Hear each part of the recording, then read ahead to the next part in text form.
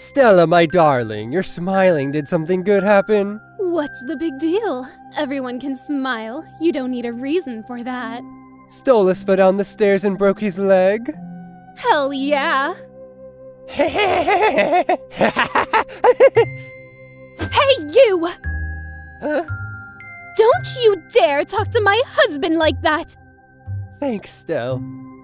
Only I can insult and bring my husband to depression. Hmm. You're here again, parasite. Shit. Oh, look at them.